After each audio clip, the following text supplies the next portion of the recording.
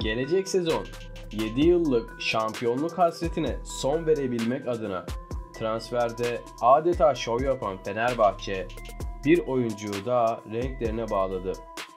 TRT Spor'un haberine göre Sarı lacivertli ekip bonservisi elinde bulunan Ekvadorlu forvet Enner Valencia'yı kadrosuna kattı.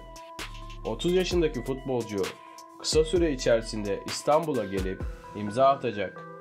Son olarak Meksika Ligi ekiplerinden Tigres'te forma giyen Enner Valencia 29 maçta 2 gol 5 asistlik bir performans sergiledi.